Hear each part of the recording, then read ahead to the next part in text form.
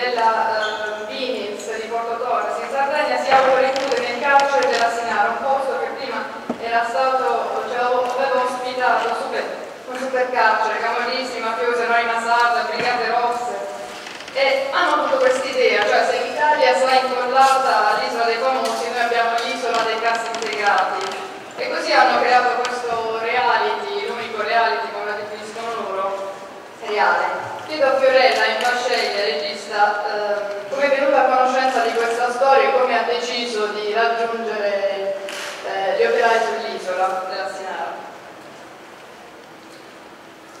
Lì ho incontrato Andrea, Antonio, Pietro, e loro hanno raccontato dell'occupazione che stavano facendo sulla Sinara mi ricordo che quella sera stessa mi sembra di aver detto a Pietro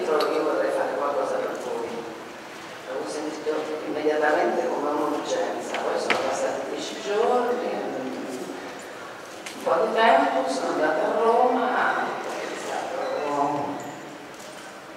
di tornare da loro, sono stata con loro un giorno nel carcere, e poi ho cercato il produttore, ho trovato Angelo e sono partita all'avventura. Ma mi sono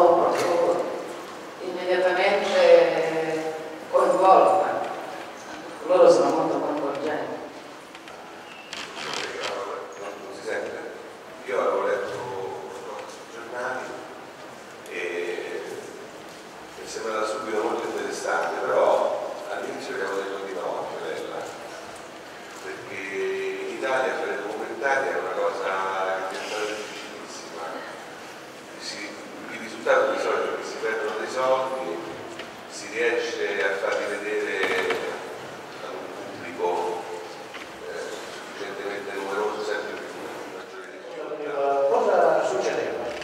Lì alla Torre Aragonese i ragazzi avevano deciso di rilanciare proprio i più giovani, volevano richiudersi alla Nel supercarcere. Però questo è stato deciso a dicembre, faceva troppo freddo, dopo tre giorni ci avrebbero ricoverato in poseria, un freddo cane. Allora noi anziani abbiamo detto, quando l'inverno sarà più mite, andremo. 24 febbraio i ragazzi hanno urlato, dai forza, sta iniziando l'isola dei, famosi, facciamo l'isola dei cassi integrati. E siamo andati. Eh, nasce così, semplicemente.